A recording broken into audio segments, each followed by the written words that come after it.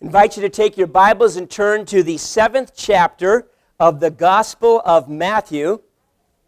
And as you're turning, remember, we mentioned on Sunday evening, June the 8th, we're having that special potluck.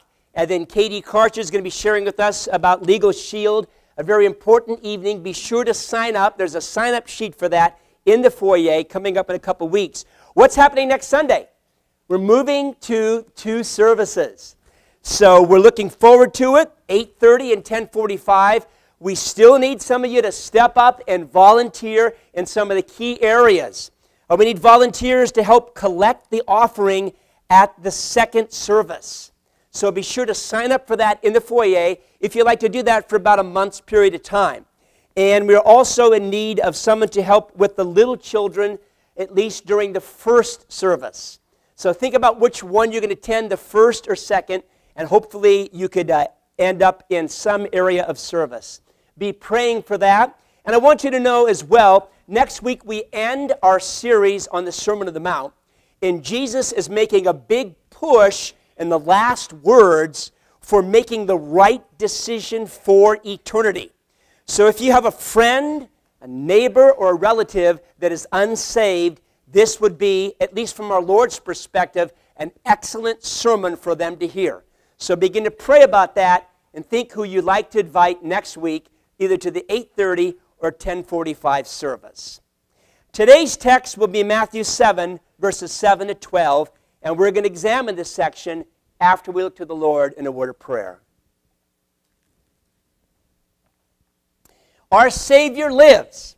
We thank you for the fact that uh, all other religions teach about followers and teach about leaders who have died, who no longer exist.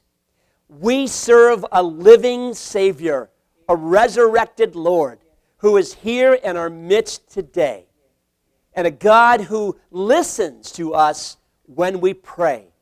And that's going to be one of our thoughts in today's section of Scripture today.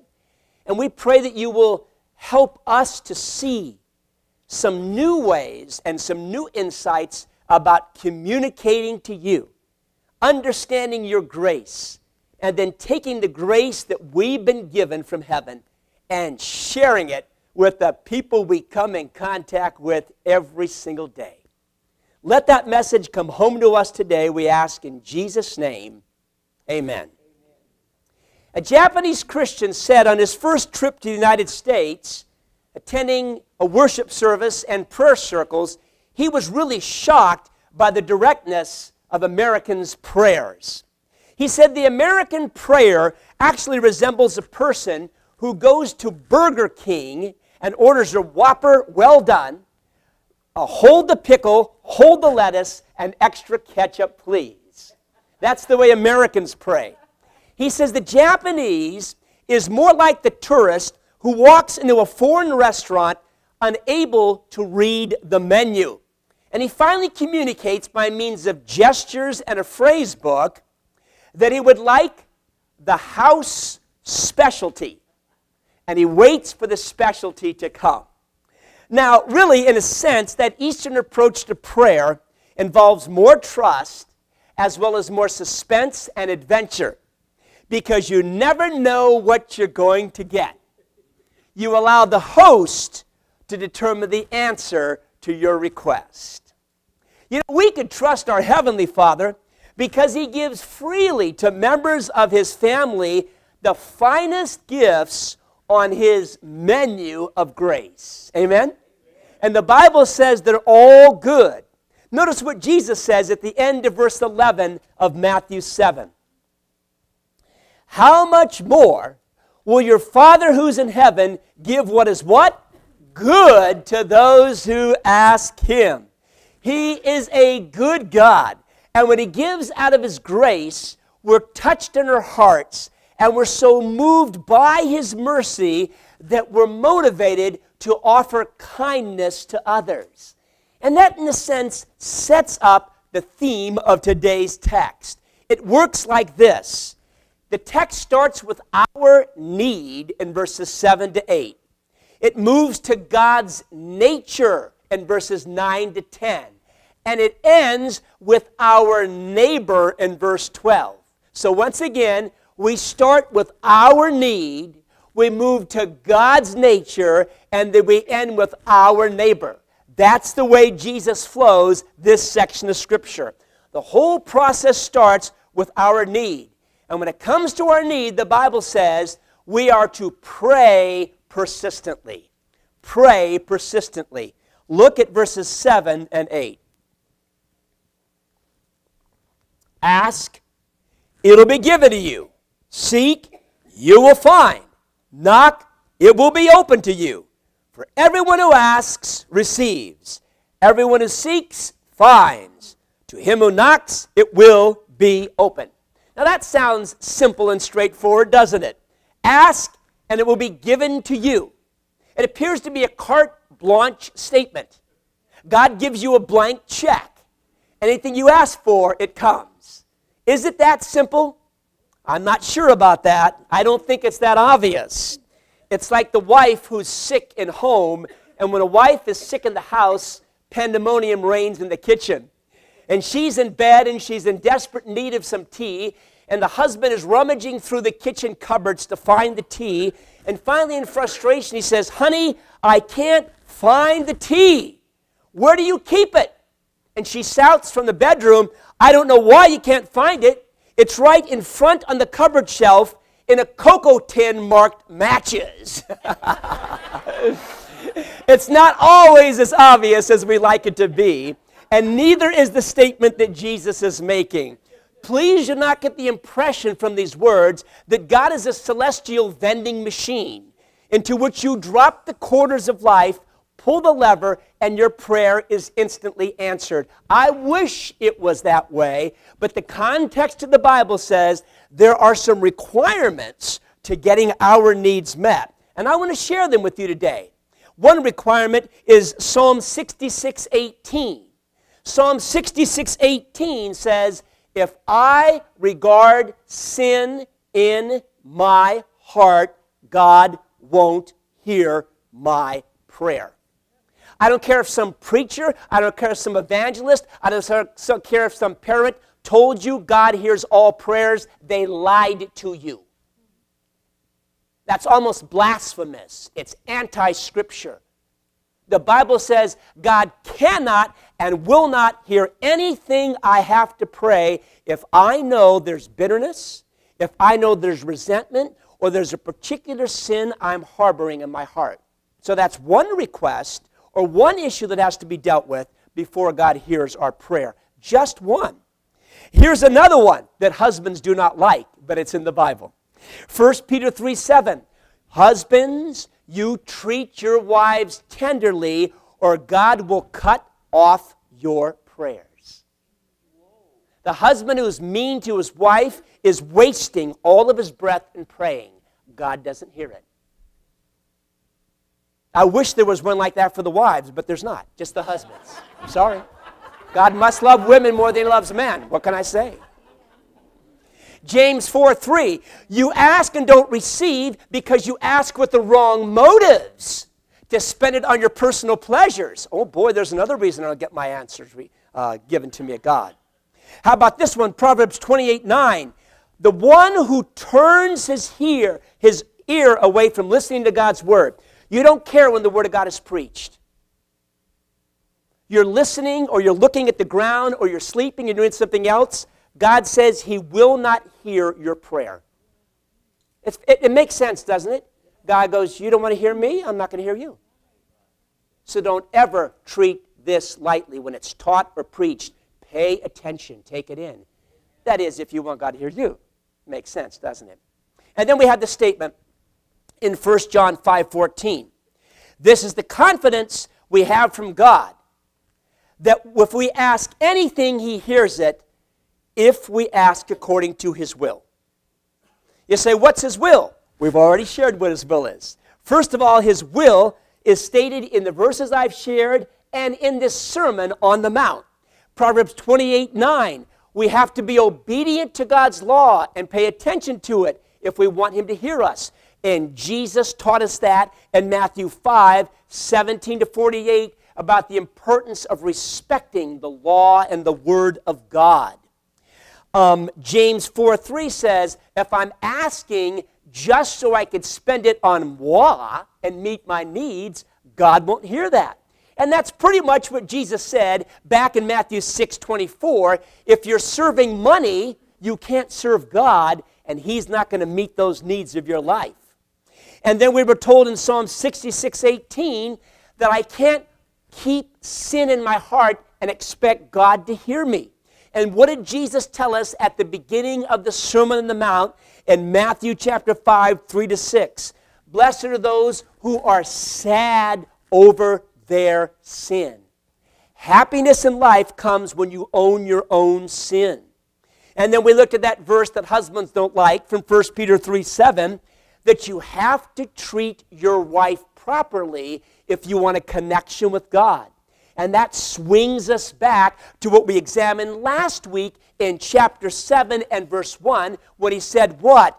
Don't judge lest you be judged. If I'm hard on you, God will be hard on me. So, those are kind of the prerequisites to keep in mind. Whenever you step into any statement of the scripture which suggests, just ask, God will give you. He will, provided you keep His word in context.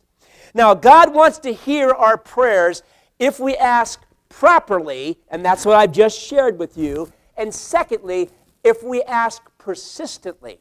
That's a very important point. And you kind of caught that, didn't you, from the text? You have to ask, you have to seek, you have to knock. Now, those are not statements ask, seek, knock. They are present imperatives in the Greek, which are continuous commands. So it says, keep on asking, keep on seeking, keep on knocking. When do you stop asking, seeking, and knocking? When you get the answer and not until. Pray again and again and again and again and again and again and again and again. And then again and again and again. And you keep on doing it. God, you said, why do we do that? We don't do that to people. Drives them nuts. God's different. He wants to see our persistence. You know what God's looking for in my life and yours? He's looking for pit bull tenacity in prayer. And he illustrates that numerous times in the New Testament. Hold your finger here, turn to the Gospel of Luke, chapter 11. I want you to see it as Jesus is talking on the subject of prayer. Hold your finger, Matthew 7, turn to Luke 11. 7 11. Luke 11. Right after Mark is Luke, the 11th chapter, verses 5 to 7. He, that's Jesus in verse 5, said to them, the disciples, Suppose one of you has a friend. He goes to him at midnight and he says to him, Friend, lend me three loaves, for a friend of mine has come to me from a journey and I have nothing to set before him. And from inside, he answered and says, Don't bug me. The door has been shut my children and I are in bed. I cannot get up and give you anything. The way Jesus phrases it, he pictures a peasant's cottage where everyone slept on one floor next to each other to stay warm in one room. And so he gets a knock on the door, and the man is saying, Now listen, I got to stumble over the wife, wake up the kids, disturb the baby, take the bolt off the door, light the candle. It's three in the morning. Are you nuts? It's too much. I'm not going to do it. Go away. That's the response of the friend who doesn't want to answer the request. Now, I want you to notice the word friend was used twice. We saw that, right? But in verse 7, when this man responds to him, he does not employ the word friend. He doesn't treat him like a friend. He treats him like an irritant. You're bugging me. You know why he does? Because no one, including your pastor, likes being woken up at 3 o'clock in the morning, do they? It's not fun to be woken out of sleep. There was a very gracious neighbor who, at one point at 4 in the morning, received a ringing phone call and he lifted the receiver to his ear and said, Hello. And the voice said, Your dog is barking and it's keeping me awake. Well, the man thanked the caller politely and then asked what his name was. And then he hung up. The next morning at 4 o'clock, he called the man back and said, Sir, I don't have a dog. Click. That's brilliant. And I'm sure that this neighbor would have loved to return the favor the next night by pounding on his buddy's door, saying, You bring out the pita bread, my friend has arrived, get you right back. But there's nothing in the parable that suggests that. In fact, the refusal gives way to what we call the reconsideration. Take a look at verses 8 to 10 of Luke 11. Jesus says, I tell you, even though he won't get up and give him anything because he's his friend, yet because of his persistence, his bulldog tenacity, he will get up and give him as much as he needs. And so I say to you, ask, it will be given, seek, you will find, knock, it will be opened. Deja vu, we just saw those, didn't we? The exact same statement Jesus made maybe a year or so before in Matthew chapter 7. Ask, seek, knock. Ask, seek, knock. Again, present imperatives. Again, in Luke, constant commands. Again, this is the way God wants us to pray. I know from personal experience, and if some of you have been in prayer for years, you know as well, that there are times in which God purposely withholds our requests from us, doesn't He? He will hold them back for weeks, for months, for years, for decades. Because He wants to see if we really, really want it. You say, I wish He didn't do that. I do too. But I'm not God. That's how God operates. And that's how He tells us to pray again and again and again because He tells us to be like children. Think about a child. If a mother is near, he will ask. If he can't find her, what will he do? He will go from room to room, he will seek. And when he discovers that mother can't take him anymore and she's locked herself in the bathroom, does he give up? Mommy, mommy, mommy, mommy. You know how that drives you crazy? Doesn't drive Jesus batty at all. Father, Father, Father, Father. He's okay with it. He is not irritated by your persistence in mind. Don't think that, well, you know, God knows my need. I can just toss it up once and walk away. God goes, you toss it up once and walk away, I'll walk away. I want you to stay in relationship with me. I want you to learn to trust me when you don't get it. I want you to learn to ask in different ways. I want to see your persistence. And so that's the way he tells us to pray. Why? Because he delights in our determination. He wants to see how badly we want it. Think of the farmer and his wife who uh, went to the fair, and they uh, were really amazed by the plane rides at the fair as the guy was doing loops in the air and all these tricks. But they complained about the $75 tickets apiece. And they just balked and complained and whined and whined. And the pilot couldn't take it anymore. He said, Now listen, I'll tell you what. If you two could get on this plane and you could take the ride without making a single sound, a single complaint, I'll let you ride scot free. But if you open your mouth one time, you both pay double the rate. And the cheap farmer said, Deal. And he shook his hand. They got in the plane, did the loops, flew back, and the pilot, not looking back, just landing, said, I can't even believe it. If I had not been in the plane, I wouldn't have believed it. You two never made a single sound. The farmer said it wasn't easy either. I almost yelled when my wife fell out.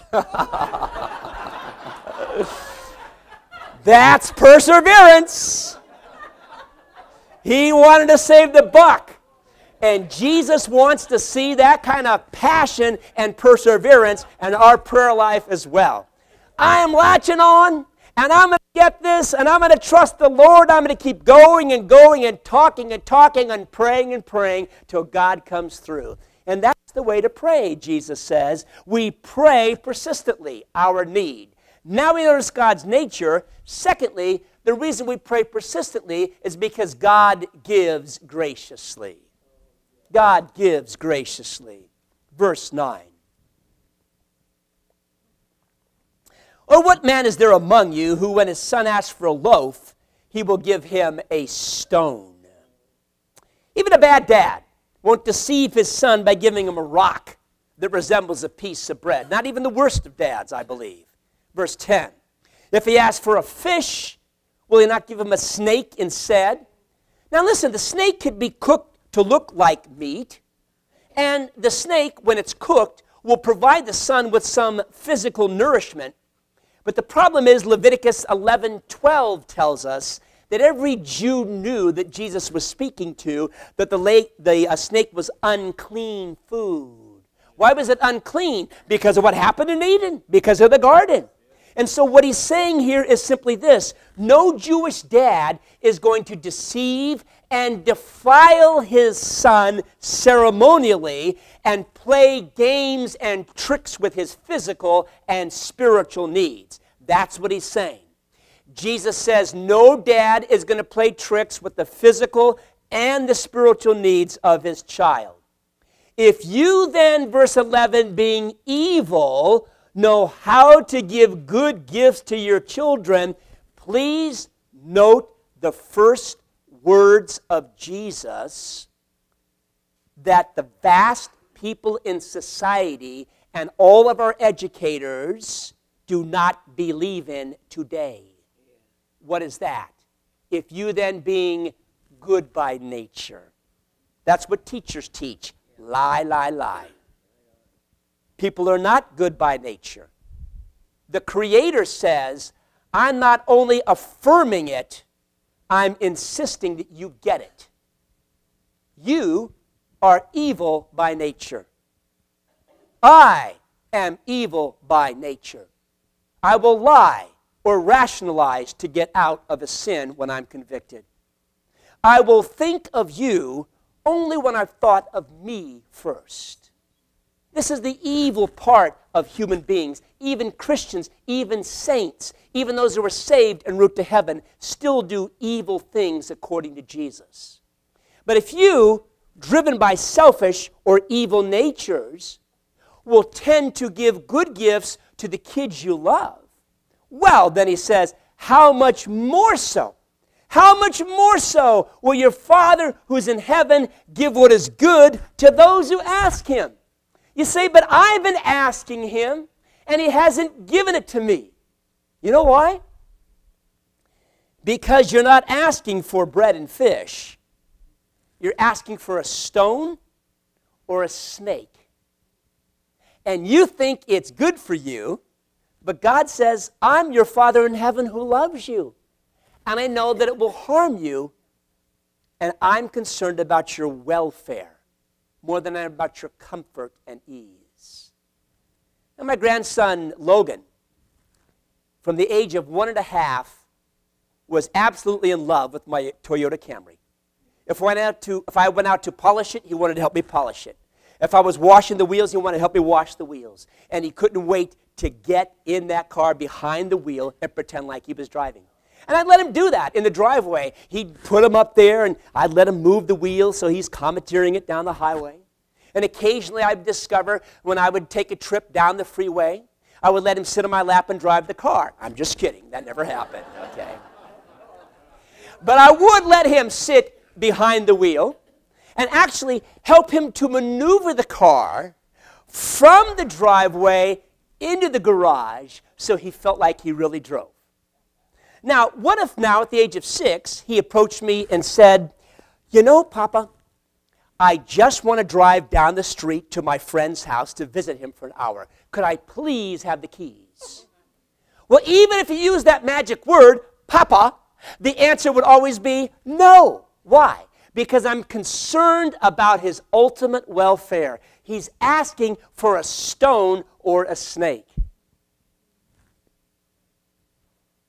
And some single people ask that God would give them that special one to marry and then grab an individual, and that's a stone or a snake. And some Christians pray a quick prayer, God bless this decision, and jump into an occupation that was never God's will because the occupation pulls them away from worship on Sundays. And some people make foolish decisions when it comes to purchasing a home or purchasing a car or doing that. And they really didn't talk to God about it. They just shot up a quick prayer and jumped in, and they asked for a stone or a snake. That's why it's better just to wait and to watch this bathe, bathe, drowned everything in prayer. Put it under for a long time and really seek to ask the will of God.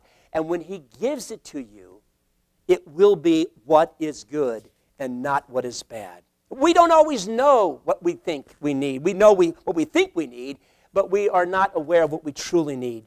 Max Lucado writes When my oldest daughter was six, we were having a discussion about my job. She wasn't very happy with my chosen profession. She wanted me to leave the pastorate. I like you as a preacher, she said, but Daddy, what I really wish is that you sold snow cones. now, that's an honest request, he writes, from a pure heart. Made sense to her that the happiest people in the world are men who drove the snow cone trucks play music, sell the goodies, make kids happy. More, what more could you want? Max writes, come to think about it, she may have a point. I could get a loan, buy a truck. I'd eat too much. I heard her request. Did I heed it? Of course not. Why? As her dad, I knew better. I know what I'm called to do, I know what I need to do, and I know more about what she needs in her life than she does. Guess who else knows far more about what you need than you think you need? Your God in heaven. And I know from personal experience, and all of you do as well, that God does not always give us what we ask. But in the end, what He gives us is good, good, good. I like the wisdom of a Confederate soldier. He wrote this in the Civil War. I asked God for strength that I might achieve. I was made weak that I might learn to humbly obey. I asked God for health that I might do greater things. I was given sickness that I might do better things. I asked for riches so I could be happy. I was given poverty so I could be wise. I asked for power so I could have the praise of men. I was given weakness so I could feel a need for God. I asked for all things so I could enjoy life, and I was given life so I can enjoy all things. I got nothing I asked for, but everything I hoped for I am among all men most richly blessed. Pretty good, isn't it? So we pray persistently. That's our need. God gives graciously. That's God's nature. And now, point three our neighbor, we treat others tenderly. We treat others tenderly. Check out the last verse of our text in everything. What does everything mean? Everything. Therefore, treat people the same way you want them to treat you. Wow. The word therefore swings us back to the context, the immediate context. Verse 11 God's been good to me, right? I'm good to thee. Verse 12. I've received it, now I reveal it to you. Hasn't this been one of the key themes in the Sermon on the Mount? You're wondering, what does God want from my life? How does He want me to deal with that cantankerous person? How do I handle individuals that I don't see eye to eye with? Jesus has told us so many times it's not even funny in the Sermon on the Mount. He is just summing up right here what he's been saying week after week after week after week after week after week so that we finally get it. He told us in chapter 5 and verse 5 Blessed are the gentle. The gentle in their relationships with others. Chapter 5, verse 7 Blessed are the merciful. The merciful people. Those are the ones who are going to be happy. Chapter 5, 24 Reconcile a relationship if it's broken. That party may not want the reconciliation. That's okay. You make the call, you send the letter, you do your part, and you be kind to them. That's your job. Reconcile the relationship. Chapter 5, verse 44 love your enemies. Chapter 6, verse 15 if I don't forgive you, God won't forgive me. Chapter 7, verse 1 don't judge lest you be judged. So I think we get the point, don't we? And Jesus sums it up by saying, treat others tenderly. Now, here's what amazes me, and, and we miss this today. Jesus says, if I treat you tenderly and decently, then verse 12 says, I have obeyed the law and the prophets. That is a statement that sums up every single jot and tittle in the entire Old Testament. Now, if you read Leviticus and Exodus, in fact, if you haven't done it, do it this week, you'll be overwhelmed by the rules, the regulations, the rituals, and the commandments. Newsflash. If you will just love people, you forget all the rest of that stuff. Jesus has simplified life down into a very easy way to understand. Life is not about rules and regulations. Life is not about procedures and schedules and demands that you make of people. Now, you may be operating your ministry in the church like that, you may be acting like that in your home with your spouse or your children, and you've missed the boat and you're wondering why you're so stressed out all the time. It's because you have missed life.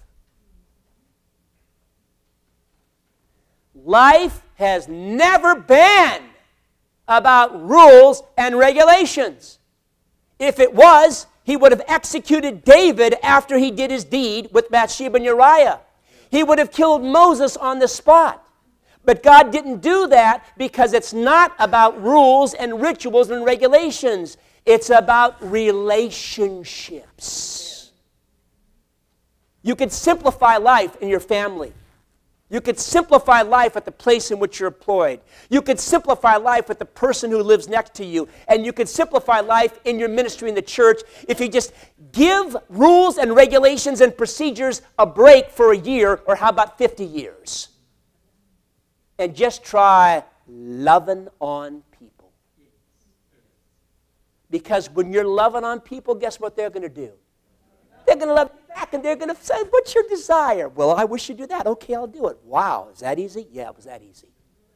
Because you didn't force me. You didn't demand me. You didn't put it down in print. You didn't insist upon me. You didn't bring out the slap or the strap. You just loved me through it. Dean Ornish, who is a world renowned cardiologist, agrees with Jesus. Here's what Dean says if you're loving God and treating people well, this is a heart specialist, you could eat junk food and remain healthy. This is why there are people who eat healthy food and are ready for a heart attack because they can't get along with anyone else. Wasn't it, uh, who was the Prime Minister of England? Winston Churchill. He ate poorly, he smoked cigars, he drank whiskey every day of his life, and he died suddenly at the age of 92. You know why? Because he had great relationships around him with his family and his friends. It's all about relationships. And Dean Ornish makes this statement. Watch this. We are 500% more likely to contract a major illness when we're isolated from loving people. You want a heart attack? You want an aneurysm? You want cancer? I'll tell you how to get it. Pull away from the church. Don't spend time with your kids or your spouse. Just lock yourself away, and that will be the gift to you. We were born to be in relationship. We have a God who's a relational God. He's the triune God. That's why Jesus cried, Why have you forsaken me? Because it was the first time in all of eternity he wasn't connected with the Father. We break connections from people all the time. God never breaks connections from the Trinity. He's always connected. And we're made in His image. We're made to be connected. He wants us to be relational people. He wants us to be loving others. And that He says, if you want to know how to love others, it's very, very simple. Just do for them what you want done for you. You don't need to read a book or attend a seminar that may assist you, but you don't need that. Just think, what do I want in my life? And then give it to others. Amen. It's just that simple. See their perspective. All of us, when we're overwhelmed, right? Don't want people to add more burdens to us, do we? We want them to be patient with us and tender with us. But we're not like that with others. I read about a lady named Dolores driving in a country road. Noticed a car was following, you know, right there on the rear, blinking the lights, honking the horn, putting pressure on her, and there was nowhere for her to turn off. She had no way, the other driver, to know that Dolores was transporting 100 pounds of mashed potatoes, two crock pots full of gravy, and all kinds of food supplies for a church social to feed 200 people. And seeing the driver's frustration, she thought, if she just realized the load that I'm carrying, she would understand the way I'm driving. And no sooner had that thought escaped her mind than a second thought came. How often, Lord, am I impatient with people when I have no idea of the fragile load they are carrying. Amen. Yes. So think about yourself first. Sounds selfish, it's not. Think about yourself. What do I need from people? And that's the way to live your life. Let's phrase it another way. Do you like it when people lambaste you for your mistakes? No. Hmm. Do you like it when people talk, talk, talk, talk, talk your ear off and never shut that hole in their face to listen? you don't like that one? Interesting. Very interesting. Do you like it when folks are arrogant and out of it and unbending? It's my way or the highway. You don't like that? Then don't toss that trash out to others, Jesus says today. Amen. Now I'm going to tell you what I like. I like it when people forgive my failures. I like it when people respect my decision even if they disagree with it. I think after 40 or actually close to 50 years in the ministry, I've earned that. Everyone else doesn't think that, but I think that way. Okay. And the third one is very easy. And I get angry when it doesn't happen sometimes. I like it when I'm smiling and nice to others, and they're smiling and nice to me. Now, that's my likes. That's what I want. Now, it's your turn. I'm going to give you an opportunity to speak out. I'm going to start the sentence, and you fill in the blank. Don't go lengthy, just short like I did. I like it when people what? Listen. Say thank you. That's real short. You could go a little bit longer than that, but thank you, ladies, for respecting what I said. Okay. Yes. Have grace. Have grace. Oh, good, good. Anything else? What do you like when people what? You're very easy. You don't need anything. Huh? Anyone else? When people are patient. Oh, yes. They're helpful, patient, gracious, forgiving. Anything else? Considerate. They trust word. They, they, they, they give you the word. They keep the word. Okay. Yes. They're kind hearted. Yes. See, these are all the same themes. You've all chosen synonyms based on what you've been studying in the last several months. Maybe you didn't know that. This is what Jesus has been teaching us in the Sermon on the Mount. It's kind of this underflow of kindness and goodness and grace. Now, we need to get it in order, we need to give it in order to get it. Amen. But we have to start the process. There was a policeman named Roy who was in the habit of dropping in an elderly gentleman who lived in a 5,000 square foot mansion overlooking a river. It was a beautiful setup. The older man had lived there almost all of his life, and he cherished the wonderful view and the trees and the water. Roy would check in on him a couple times a week, and they'd have some tea, and they'd stroll the gardens and go down to the river. One visit was a sad one because the man admitted, My health is failing. I have to sell my home and move to a nursing home. That broke Roy's heart for two reasons. For a selfless reason, number one, he liked the old man. Number two, for a selfish reason, he really enjoyed the house. He wouldn't be able to go there anymore. And he thought, man, I'd love to have that house. But he looked at it, he realized there's no way that I could afford it. Now, the man wanted for this 5,000 square foot house $300,000. Does that tell you it was not in Southern California? yes, okay, all right. Roy had $3,000 in savings, and he was paying $500 rent at the time. Now, this was an insurmountable issue. There is no way in the world he could come up with an idea in which they could both win until you take into account the power of love. Roy said, What are you going to miss the most about your home? He said, Well, walking through the garden and enjoying the beauty of this location.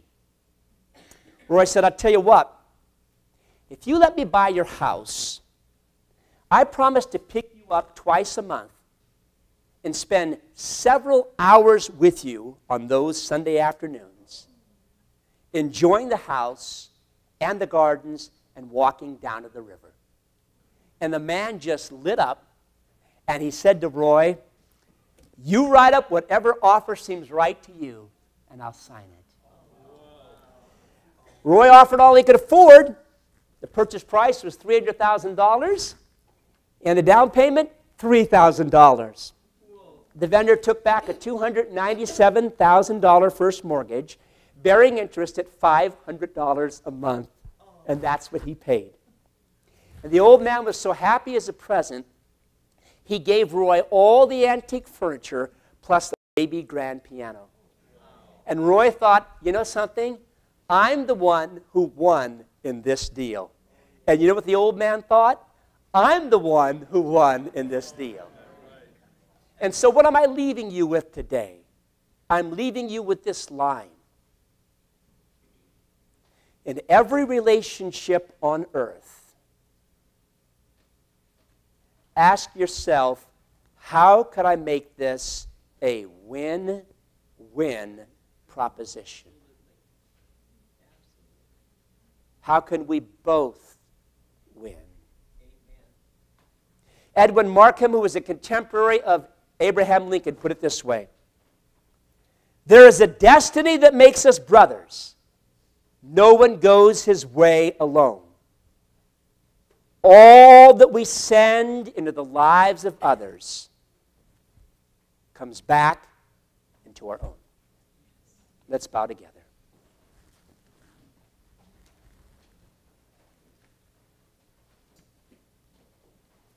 At the cross, God created a win win condition. It was wonderful. Jesus died so that your sins could be forgiven. That way you win. Jesus died so God could enjoy you forever in heaven. That way he wins. Isn't that a great deal? Have you accepted the deal? Have you signed on the dotted line? Could you remember a specific point in time when you recognize that you, like Jesus has said, are evil by nature? And you sin, whether sometimes you want to or not, you just do it. You're imperfect. But there's a Father in heaven who longs to be with you and wants to enjoy your presence throughout eternity. All he asks for you today is to acknowledge the fact that you've come short of the standard of excellence and you want a relationship with him. Are you willing to do that? If so, then when every head is bowed and eyes are closed, I just ask you to lift your hand good and high. And by doing so, you'd say, Pastor, I'd like you to pray for me right now so that I could step into the family of God by faith. If that's your desire, just raise your hand.